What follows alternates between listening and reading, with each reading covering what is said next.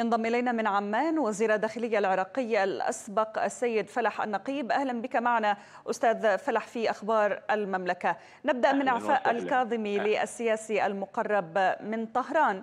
فالح نعم. الفياض من منصبي رئيس جهاز الأمن الوطني ومستشار الأمن الوطني. برأيك على ماذا يدلل هذا الإعفاء؟ لا بالتأكيد هناك يعني دليلين على يعني على هذا الموضوع. الأول أنه الرجل كان مستلم ثلاث مناصب يعني في وقت واحد آه اللي هو الجهاز الأمن الوطني والمستشار الأمن الوطني إضافة لرئاسة الحشد الشعبي.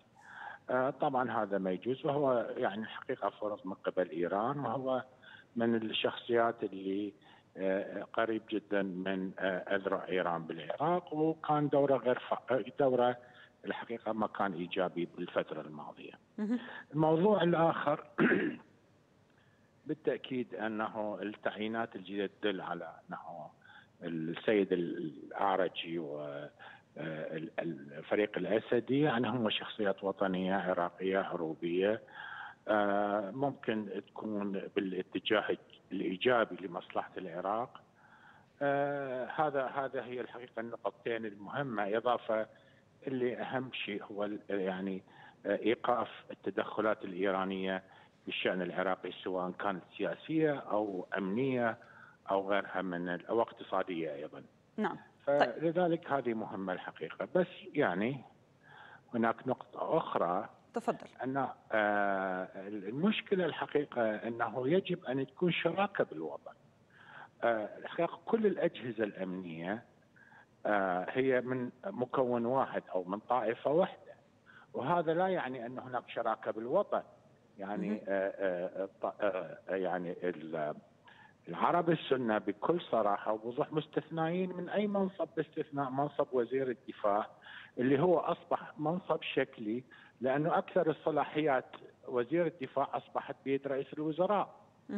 فلذلك إحنا المشكلة الحقيقة الآن إذا ردنا يعني مشكلتنا بالحل السياسي، الحل السياسي لوضع العراق يجب أن يشمل كل العراقيين، يعني يجب أن تكون هناك شراكة في إدارة شؤون طيب. البلد سياسيا وامنيا وبجميع الاجهزه، طيب. نعم.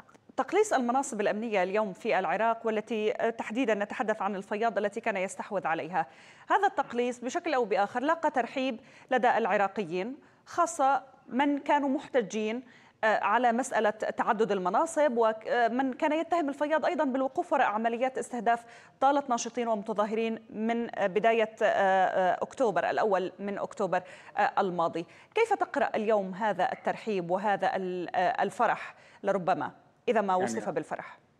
يعني أولا السيد الفياض هو شخصية ضعيفة وليست بذيك القوة الحقيقة وقادة الميليشيات اللي موجودين هم آه، آه، حقيقة مسيطرين وهم أصحاب القرار.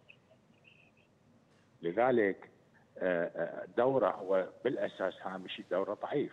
الآن بالنسبة إلى الفريق الأسدي اللي هو كان قائد جهاز مكافحة الإرهاب وإلى تاريخ وطني وعسكري جيد ما راح يسمح بالتدخلات وبالأوضاع اللي صارت سابقا. إضافة إلى أن السيد الأعرج أيضا كان وزير داخلية سابق وهو بالأساس كان من منظمة بدر ولكن آه، انشق عنهم وطلع خارج إطارهم لأنه رفض آه، الخضوع إلى إيران. فهذا مؤشر جيد لمصلحة الشعب العراقي لكن لحد الآن الوضع بشكل عام آه، مبهم حقيقة يعني. يعني وضع الوضع العراقي سياسيا طبعا هو يجب أن يكون الحل السياسي حل يرضي جميع أبناء الشعب العراقي حتى آه، تقدر أي حكومة تكون موجودة تكون مدعومة شعبيا وكسب شرعيتها آه، من الشعب العراقي وتأييده لها.